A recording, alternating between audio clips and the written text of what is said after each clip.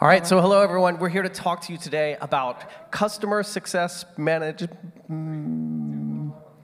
and how customer success management and DevOps can come together to create amazing customer deliveries. And in order to do that, we are going to travel to the kingdom of SaaS, and we are going to tell you this story through song. Song? No, no song, please. I did not agree sure? to singing. Yeah. All right, well, anyway, this is Custarella. Custarella has a problem. She wants to get to all of the parties in the kingdom as much as she can. Yes, but she's having a real problem finding out when all of the parties are. So one night, she takes her phone out and she does some doom scrolling. After a few hours, she discovers an application that is going to solve all of her problems. It's going to get her invites to the best parties in town. Not only that, it's going to help her make sure that her fit is ready to go, her Yep. hair is perfect. Yep. She's going to be ready for the party. Uh, unfortunately, as things go, her father passes away and she has to go live with her evil stepmother and stepsisters. She's also received zero product training and she really has nothing to do with it, so she might as well have buried the product right along with her dad. Yeah, and while her product sits on the shelf, her evil stepmother and stepsisters put her to work. She has to do all the household chores. She's always dirty, certainly not fit for a party. And she never gets any invitations either. It's a metaphor for product bugs. So, anyway, she gets a call from this guy. This is a sales rep she's never heard of in her life, asking her to renew and expand into something different or How- into other products. So, Tara, how did that conversation go with this sales rep? Uh, it went like 2005 Tyra Banks. I was rooting for you. We were all rooting for you. How dare you? This product doesn't work. Yeah, but will you renew? No. Expand?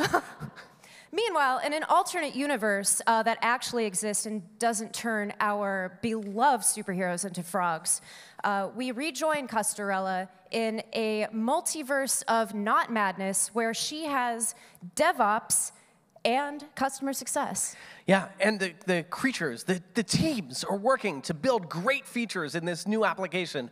Uh, and they're toiling away, building these great features, and the product owners are telling us, build a feature, build a feature. And we've become a feature factory. And the collaborations are happening between product and development and shipping the software and, and operations. And again, we're building all of these lovely, lovely features. And boy, we sure hope they're working well. Yeah, but kaboom!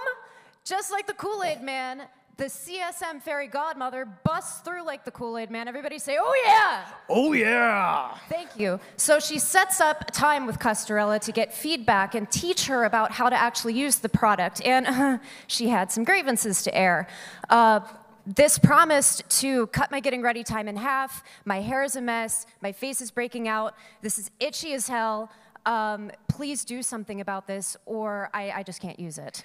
And so the fairy godmother, I'm sorry, the customer success manager brought all of this great user feedback back to the development teams. And as a development team, we started to understand how our customer was actually using the application and where the problems were so that we could eliminate all of that friction. And we got to work. They got to work indeed, and our girl did get to the party. We've been trying not to say ball multiple times. Uh, she got to the party, she got the bag, and uh, she used it again. And you know, miracles happen once in a while. Hey, I thought there wasn't going to be singing. Only if you believe. Oh, all right. Fair enough. So here we are, and, and what a transformation she had. And Oh, you kn- no. Oh shit! What happened? It's it's a zero day vulnerability. It's Oh, a- no, what do we do? It's it's a bug in production. Everything turned to a pumpkin, and not a very healthy looking one either. No, that looks like crap, Nathen, but it's a good thing that we've been working together to mitigate it. Cue the montage. Yes, we're gonna work together. We're gonna get dev and ops and customer feedback going, and we're gonna ship a new product and update the features. And man, there is some real Kenergy in this room. Do you feel that energy? I feel that Kenergy. Do y'all feel that energy?